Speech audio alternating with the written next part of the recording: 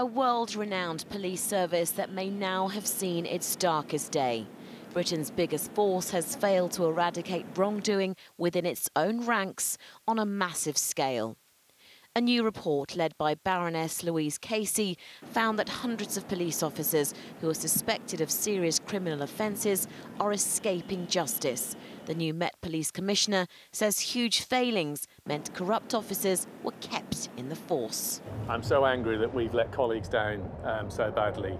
The report makes clear that um, women officers and staff and black and other minority officers and staff who've had really bad experiences in this organisation too often we've been feeble at responding to that and let them down. The force's misconduct system was found to be misogynistic and systematically racist, but perhaps more shockingly, a system that allowed repeat offences without punishment. One officer faced 11 allegations, including sexual harassment and assault, but is still serving in the Met. So we've got examples of where people have committed misconduct, sexual misconduct, racist misconduct, and it's repeated over and over and over. And the system doesn't see that as a pattern and does it treat it that way sufficiently. In fact, Baroness Casey's team found that 20% of police officers facing allegations had more than one complaint raised against them.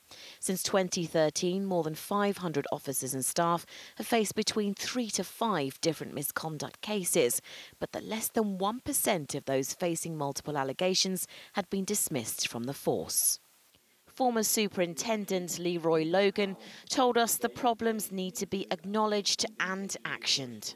I knew it was going to be bad. I didn't know it was going to be this bad.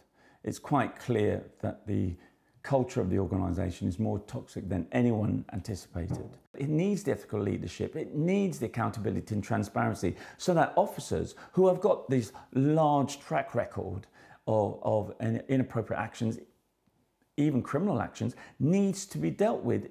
Figures also show black police officers were 81% more likely to have complaints upheld against them than their white counterparts.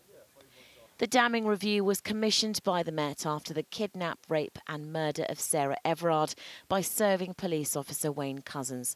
Sir Mark Rowley claims hundreds need to be sacked, but with a full report expected next year, perhaps the worst is yet to come. Divya Kohli, 5 News.